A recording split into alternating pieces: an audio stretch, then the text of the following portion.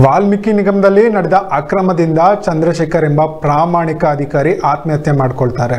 ಇದರಲ್ಲಿ ಸಚಿವರು ಶಾಸಕರು ಪಾತ್ರ ಇಲ್ಲ ಎಂದು ಸಿಎಂ ಹೇಳಿಕೆಯನ್ನ ನೀಡಿದ್ರು. ಎಂ ಅವರು ಸದನದಲ್ಲಿ ಈ ಬಗ್ಗೆ ಹೇಳಿದ್ದಾರೆ. ಈ ಮೂಲಕ ನಾಗೇಂದ್ರ ಅವರಿಗೆ ಕ್ಲೀನ್ ಚಿಟ್ ಕೊಡುವ ಕೆಲಸ ಮಾಡಿದ್ರು.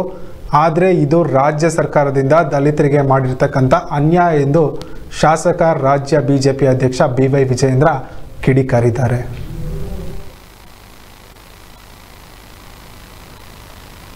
ಈ ಒಂದು ದೊಡ್ಡ ಹಗರಣವತ್ತೆ ನಡೆದಿದೆ. ಇವತ್ತು ಭ್ರಷ್ಟಾಚಾರ ಹಗರಣ ಇವತ್ತು ವಾಲ್ಮೀಕಿ ಅಭಿವೃದ್ಧಿ ನಿಗಮದಲ್ಲಿ ಏನ್ ನಡೆದಿದೆ? ಇವತ್ತು ದಲಿತರಿಗೆ ಅನ್ಯಾಯ ಆಗ್ತಕ್ಕಂಥ ಕೆಲಸ ಏನು ಆಗಿದೆ?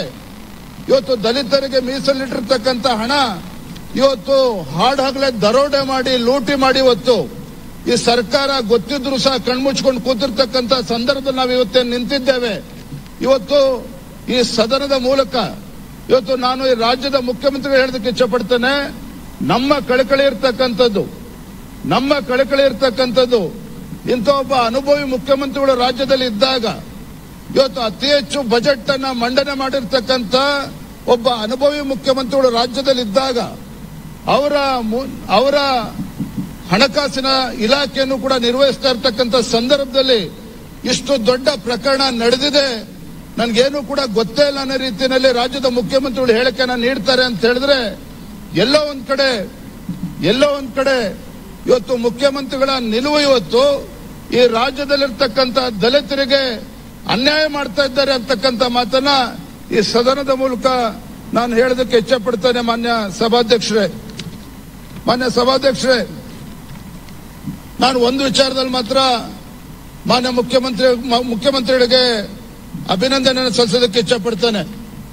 ಇವತ್ತು ಇಷ್ಟು ದೊಡ್ಡ ಹಗರಣ ಆದಾಗ ಚಂದ್ರಶೇಖರ್ ಅಂತಕ್ಕಂಥ ಒಬ್ಬ ಅಕೌಂಟ್ ಆಫೀಸರ್ ಆತ್ಮಹತ್ಯೆ ಮಾಡ್ಕೊಳ್ತಾರೆ. ಇದಾದ ನಂತರ ಇಡೀ ರಾಜ್ಯಾದ್ಯಂತ ಸುದ್ದಿ ಆಗ್ತದೆ. ಸಚಿವರ ರಾಜೀನಾಮೆ ತೆಗೆದುಕೊಳ್ಬೇಕು ಅಂತ ಹೇಳಿ ನಾವು ಕೂಡ ನಿರಂತರವಾಗಿ ಹೋರಾಟವನ್ನು ಮಾಡಿದ್ವಿ, ಒತ್ತಾಯವನ್ನು ಕೂಡ ಮಾಡಿದ್ವಿ. ತಡ ಆದರೂ ಸಹ ಮುಖ್ಯಮಂತ್ರಿಗಳು ಕಡೆಗೆ ಅವರು ರಾಜೀನಾಮೆ ತಗೊಳ್ತಕ್ಕಂಥ ವಿಚಾರದಲ್ಲಿ ಯಶಸ್ವಿಯಾಗಿದ್ದಾರೆ. ಆದರೆ ಒಂದು ಪಾಪ ಮುಖ್ಯಮಂತ್ರಿಗಳ ಪರಿಸ್ಥಿತಿ ನಾವು ಅರ್ಥ ಮಾಡ್ಕೋಬೇಕು.